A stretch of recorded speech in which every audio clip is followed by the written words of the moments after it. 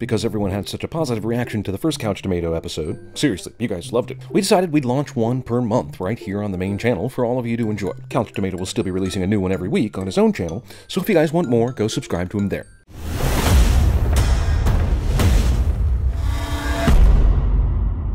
Movie starts off in the far reaches of space, all epic like with the cliche deep voice character explaining the backstory of an army of darkness and an upcoming battle against mighty heroes. And right after that is when we find out about this MacGuffin device. Time out for clarity. A MacGuffin device is a plot device that has no specific meaning or purpose other than to advance the story. I got the definition from a pretty reliable source and thought I'd share it since I personally found out about the meaning only a couple of weeks ago. At least once in the film, the characters associate the term Tesseract with the MacGuffin device that I'm talking about. Time in! Alright, you and I both know nobody wants to see a movie set entirely in space unless it rhymes with Star Wars or Guardians of the Galaxy. So the director finds a way to get our main characters transported to the third furthest planet from the sun to make it more relatable, I guess. At the end of the day, I'm not going to force you to watch this movie. I could admit the plot is a little thin with the whole basic good versus evil type stuff, but these characters are pretty awesome. One guy with the eye patch, I would totally wear that for Halloween. There's this inventor guy who serves as the brains of the operation. Plus, you got this cutie, and she's all like, shoot or dare, I don't care. Underwear's not under there. And last but not least, doth mother know you weareth her drapes? The hero from another realm that's allergic to obesity is starring in the blockbuster also. It's this main character that shares the most history with our bad guy, more so than the other good guys. He's supposed to be this worthy dude with this weapon where only he could harness the full potential. When he uses it, lightning starts appearing and stuff, so he's kind of legit. As for the bad guy in this movie, the British accented villain seems like an underdog at first, but you, the viewer, might end up liking him more than the heroes in this film. Other than the fact that he's always begging people to kneel before him, he's pretty cool. Dude's got some of the funniest lines in this movie, and he's got this staff thingy that can transform his clothes to a Michael Jackson Do You Remember the Time outfit on command, which is more comical than frightening, if anything. Hero movies usually go the cheap route, with the heroes being all buddy buddy and eating shawarma like a big happy family. Kudos to the director for getting some tension in there. After some finger pointing in the woods, the good guys decide to put their differences aside and partner to find out exactly what the mysterious MacGuffin device is capable of. The villain gets nervous, not really sure why though. He's got way more people than the good guys do. In fact, there's this one part where he's all like, I have an army. And the good guy's like, we have a character that's already signed a contract for an alleged future sequel. So it's highly unlikely the good guys die in this movie. To get leverage, the bad guy hypnotizes this one good guy character and starts getting valuable secrets and stuff. Wanna know something haha funny? The plan actually works. Bad guys are able to raid the good guy's place of operation and get what they wanted. While the helpful heroes need help of their own, this government badge dude tries to jump in the fight. Now it's obvious people without power should stay on the sideline, but he gets a gun and thinks he's bulletproof and sadly, he's not. Anyways, so this whole movie, the bad guy's been bragging about this army, but where they at though? Oh, there they are. With the help of the MacGuffin thingy, they're able to use the wormhole to transport to the streets of the city. Luckily in this film, no innocent civilians are seen dying on screen, so you could argue there's actually zero casualties if you don't include the bad guys. Plus, some of the cops are able to provide a hand. I'll admit, cops usually suck in disaster movies like this, but they're able to secure the perimeter and stuff while the stronger heroes are occupied. Okay, speaking of Fresh Prince of Bel-Air, this one guy starts Will Smithing it up out of nowhere. So aliens are flying all over the place, right? And the heroes are like, I've seen these things in action and I'm well aware of their maneuvering capabilities. This son of a B word ends up actually flying the space tricycle thingy with no manual or nothing. The hero flies to the rooftop to get closer to the MacGuffin, but it sucks because the force field surrounding the MacGuffin device is impenetrable. To make matters worse, in the good versus evil battle, the bad guys overwhelm the good guys and it becomes too much for them to handle. You think for a split second the good guys might lose this one, but they eventually separate the main villain from his staff and win the battle. In the end, the heroes huddle up, hand a blue thingy majiggy to two of the main characters right before they transport back to their home planet. This is actually a fairy tale type ending, but not really, since the after credits scene suggests that there's more sequels and danger, of course, on the horizon. Those are 24 reasons these movies are the same. You agree? Yes, no, maybe so? If not, politely share your thoughts in the comment section below and click the subscribe button for more 24 reason videos.